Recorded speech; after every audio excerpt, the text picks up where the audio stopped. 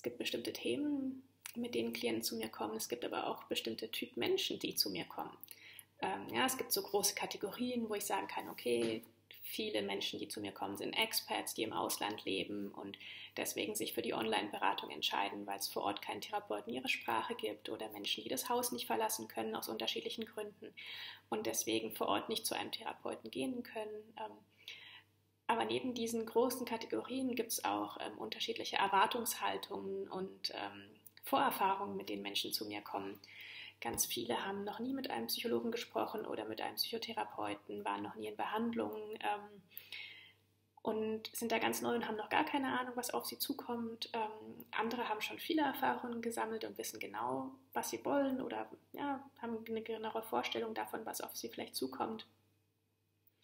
Dann gibt es Menschen, die ähm, sehr ungeduldig sind, die am liebsten schon morgen ein komplett neuer Mensch sein möchten und die ich ähm, meistens erstmal enttäuschen muss, ähm, indem, ich mir, indem ich ihnen erkläre, dass ich keine Wunderpille habe und dass auch nicht in zwei Gesprächen ein komplett neuer Mensch aus ihnen werden wird. Ähm, sie haben viele Jahre und Jahrzehnte gebraucht, um der Mensch zu werden, der sie heute sind. Wir werden das nicht von heute auf morgen ändern können. Ähm, und gerade diese Menschen, die mit Zeitdruck zu mir kommen, die sagen, ah, ich muss aber aus irgendwelchen Gründen in zwei Monaten komplett anders drauf sein, ich muss alle meine Probleme gelöst haben. Ähm, das kann nicht funktionieren. Ja, natürlich gibt es Dinge, die sich schneller lösen lassen, andere, die länger brauchen, aber grundsätzlich, wenn man mit dieser Einstellung reingeht in eine Beratung, dass man unbedingt komplett sich verändern muss, alles verändern will und das auch noch unter Zeitdruck und möglichst schnell, dann ist das in den allermeisten Fällen zum Scheitern verurteilt und ganz ehrlich, so fange ich auch keine Beratung an. Also ich fange Beratung nur dann an, wenn die Menschen bereit sind, sich auf eine realistische Zeit einzulassen, realist, halbwegs realistische Erwartungen haben oder wir uns da einigen können, dass, ähm, ja, dass es sonst so nicht funktioniert, denn sonst ist die Enttäuschung vorprogrammiert und dann würden diese Menschen rausgehen und sagen, ja, Beratung und Therapie, das bringt doch überhaupt nichts, ich habe es schon mal versucht, das geht doch gar nicht.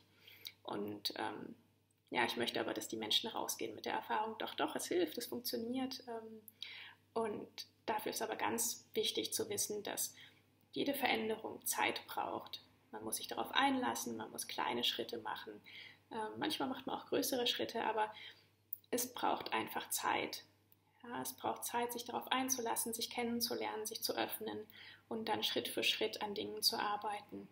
Und das geht nicht von heute auf morgen und das geht schon gar nicht unter Zeitdruck. Und wenn man diese Erwartung hat und diese Hoffnung, dass jetzt in zwei Monaten, drei Monaten, wie viel auch immer, man ein komplett neuer Mensch ist, ähm, mal ehrlich, ein ganz neuer Mensch wird man wahrscheinlich eh nicht werden. Also es ist jetzt auch nicht so, dass wir in einer Beratung alles verändern können. Ähm, insofern bin ich sehr dafür, realistische Erwartungen zu schüren und gemeinsam zu gucken, was ist denn im individuellen Fall machbar, was ist sinnvoll, was sind denn die nächsten Schritte, die nächsten Veränderungen, die wirklich sinnvoll sind, die wünschenswert sind und wie kann man da vielleicht gemeinsam daran arbeiten, das umzusetzen.